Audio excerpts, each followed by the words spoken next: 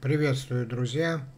Негативная доминанта, как она может формироваться? Ну, например, в момент, э, там был э, определенный ролик, и там девушка мне рассказывала, что она всю жизнь зажатая, напряженная, у нее нервно-мышечные зажимы, блоки сознания и тела, она никогда себе не позволяет быть свободной, потому что мы говорили, говорили с ней и поняли – что в детстве, когда она была маленькая, где-то было года три, она играла с куклой, общалась с куклой, что-то себе воображала, и вдруг бабушка зашла и резко приказала ей прекратить эту игру.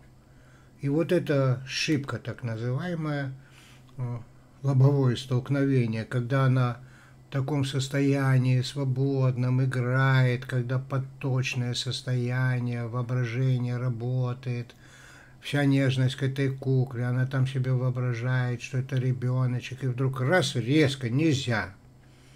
Нельзя.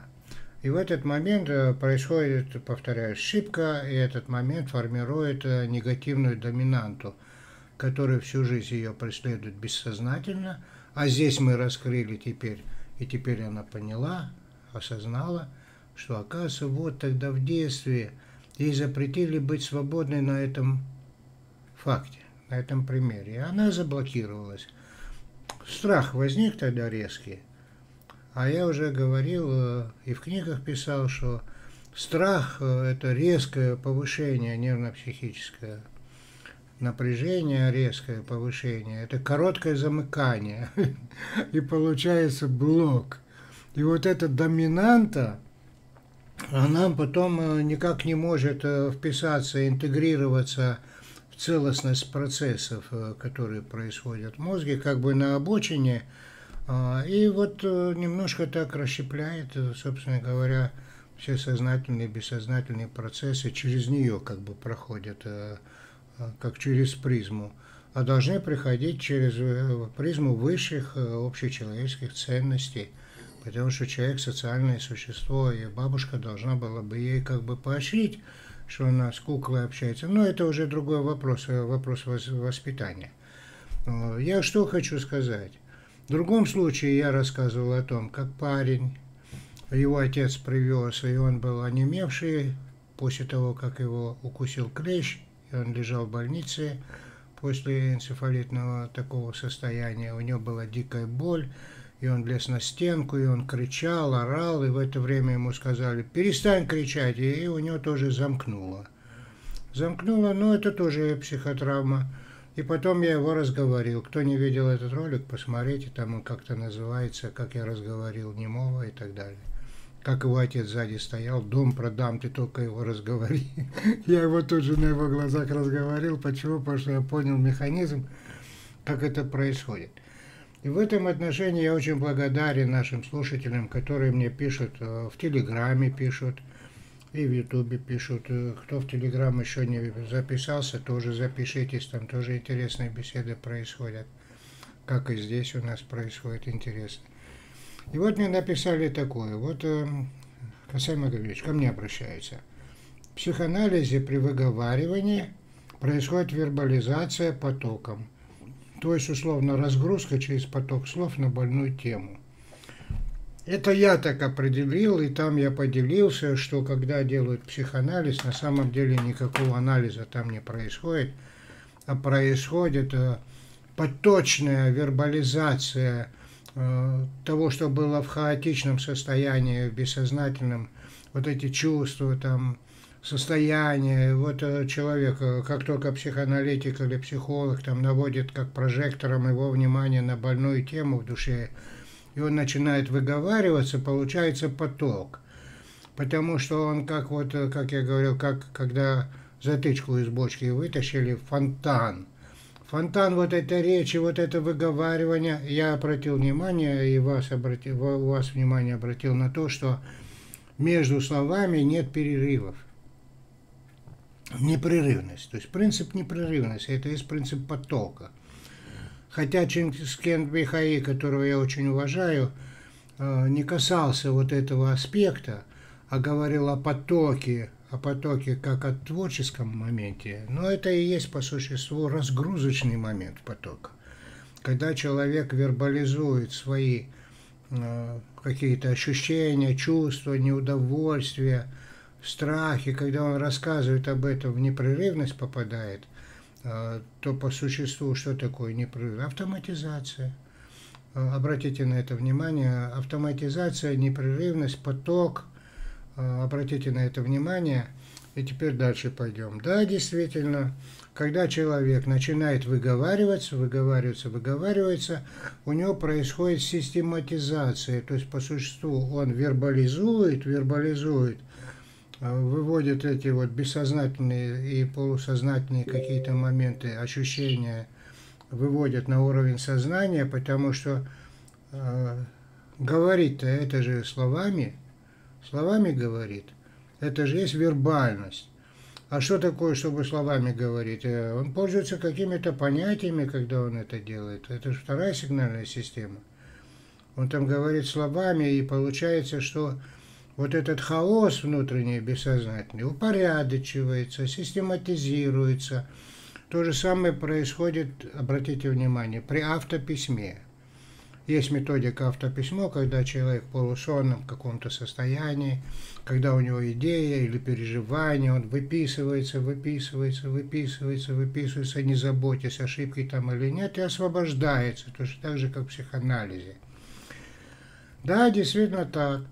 А я говорю, что если это соединит еще к тому же шалтай-болтаем или с волной, с волной, то вот эта психотравма, которая, может быть, в детстве создалась, вот эта патологическая доминанта, может быть, в другом случае каком-то, по другой причине, может, на войне, может быть, на соревнованиях, но мало ли что где происходит, то этим выговариванием одновременно он совершая действия телесные, повторяемые движения, тоже непрерывность образуется поток.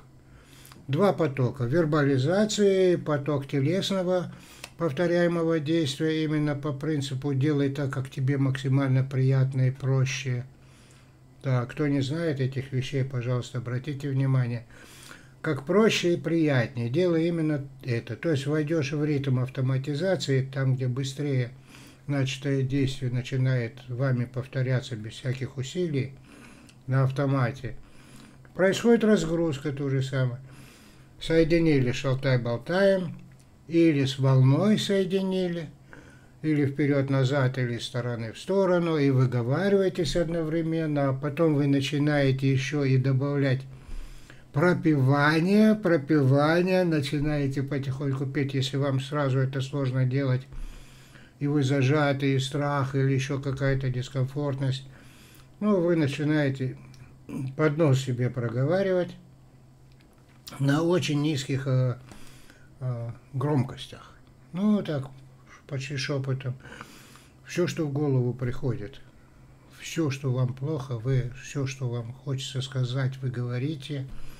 Например, ой, как мне плохо, да как же быть, как же жить, и говорите в полголоса, чтобы не тратить сил. И потом через это, через несколько минут вы замечаете, что вам становится легче, свободнее, зажимы уходят – потому что вы капризничаете как ребенок. Поэтому ребенок, когда он капризничает, извините, посмотрите, как я сейчас уберу хрипы всякие. И я капризничаю, капризничаю, капризничаю, капризничаю, капри. Я говорю, ну почему я капризничаю, ну почему меня обидели, почему мне кашу не дают. Сейчас буду еще тише говорить, как мне легче и раскачиваться одновременно, и стенать, и причитать. Видите, голос уже какой становится. Уже и кашлять не хочется. Потому что я понизил энергозатраты, энергозатраты, и говорю теперь уже и громче, и свободнее, и зажимы проходят. Ну вот проходят зажимы, мне хочется раскачиваться, я нашел ритм, одновременно я вербализую свои эмоции – то есть говорю все, что в голову приходит. Видите, я не задумываясь говорю. Говорю все, что в голову приходит. Но ну, это как комментарий какой-то, как ворчание, бурчание. Теперь я начинаю это пропивать. Но сейчас, видите, громче, громче я говорю, и никакого кашля нету. Понимаете, совсем другая интонация, потому что связки освобождаются от зажатости, становится легче говорить. Я вот немножко так уже освобождаюсь. И теперь могу пропивать, но я мог, мог бы сначала пропивать и там, на тихих тонах. Пожалуйста, Кто может только шепотом, пожалуйста, начинайте шепота. И таким образом мы соединяем а, выговаривание, а, распевание с шалтай-болтаем или волной, то есть телесными действиями, или с плавательными движениями, или с танцевальными, то есть вытанцовываем наши, обратите внимание – прорисовываем наши переживания. В воздухе рисуйте ваши переживания, а можете плавательные движения, а можете движения, как будто бы на лодке плывете, веслами гребете, то, что вам легче. Перебирайте вот эти разные движения, а может быть э, в кольцо закидываете волейбольный мяч, а может быть в теннис играете, а может фехтование, а может куклу начальника колотите или в противника своего, или противницу, чтобы выпустить пар, чтобы освободиться, разгрузиться. Так вот оно что, если вы соедините все модальности, все органы чувств, соедините вот с этим и движение в потоке, и речь в потоке, и рисование в потоке, получится вот эта нейрографика там и все прочее, прочее, прочее, вы сейчас увидите саму суть, что на разных уровнях, на разных уровнях человек и так инстинктивно пытается сбросить лишнее напряжение, которое связано с этим коротким замыканием, с этим первичным страхом, когда у него когда-то создалась вот эта патологическая доминанта. А то, что я предлагаю, то, что вся наша школа обменивается опытом, да, своими достижениями, о чем в наших книгах, и в первых, и во второй книге, да, их опыт. Мы все, спасибо вам, друзья, все вместе делаем одно положительное дело, помогаем друг другу понять, на чем что основано. Да, вот такие вот вещи вот интересные. Поэтому, когда мы все сразу соединим сейчас, у нас не просто психоанализ получается, у нас не просто разгрузка получается, у нас потом и происходит и перезагрузка, потому что когда мы освободились от той патологической доминанты, которая нас все время держала в напряжении, создала потом в конце концов вегетативно-сосудистые дистонические дела, и остеохондрозы, и язвы желудка, и другую психосоматику, и так далее, и так далее. Теперь, когда мы оттуда вышли, мы можем, можем в этот момент и перезагрузку делать. Вот, собственно говоря, этот ролик сейчас часть будущего нашего взрывного вот ролика, условно говоря, образа. Ну, шикарнейшего ролика, который нам откроет всем глаза, э, как, в принципе, разгружаться можно, и как, в принципе, нас могут грузить в этот момент э, другой патологической доминантой, которую мы там проговариваем, входя в ритм каких-то повторяемых действий, то ли готовясь к охоте, то ли в танце шамана, то ли еще где-то. Ну, я вот не буду называть эти страны, эти секты, не буду называть, где нас зомбируют, как нами управляют. Но вы уже начинаете понимать немножко механизм, исходя из моей новой модели работы мозга, которую тоже можете посмотреть на стрессе, стресс, э, на сайте stress.su там о методе ключа, там есть новая модель работы мозга. Давно я ее напечатал, можете посмотреть. Это очень интересная модель. Я там написал, что, конечно, я стою на плечах гигантов, таких как Ухтомский, таких как Узнадзе, академики наши, а, таких как, ну, вообще много-много-много. Их не перечесть. А, я просто хочу сказать, что не я это только все придумал. Но я сумел систематизировать, обобщить и найти в разных направлениях и в разных методах, которыми люди пользуются, некие единые начала базовые. Вот о них я вам сейчас и рассказываю. Ну, вот так вот. Так что и потом вы будете более защищены, потому что будете знать, как разгрузиться. Да. А вот в секте трясунов там э, человек трясется, ну, много, группа приходит, они все трясутся, и они думают, вот этот кайф, который они при этом получают при разгрузке, потому что адреналиновая э, зажатость, возбужденность, мобилизованность, скованность, она сменяется эндорфинным состоянием освобождения. Так они автоматом это приписывают этому руководителю секты. Да, а на самом деле любой человек, если делает вот это потрясись, тоже разгружается. Видите, как вот э, естественные природные механизмы работы мозга Тот, кто знает их, тот нами и манипулирует. Вот, друзья. А если вы их знаете, вы сами можете управлять собой. Поэтому там это гипноз, и власть, и внешнее управление. А здесь вы обучаетесь выходить из этого гипноза, становиться свободным и сами себя настраивать на любую желаемую деятельность, соответствующую вашим талантам, и находить свое место под солнцем. Да, друзья, смотрите, смотрите, пишите комменты. Скоро тот ролик будет выставлен. Почему я с ним немножко тяну? По одной простой причине.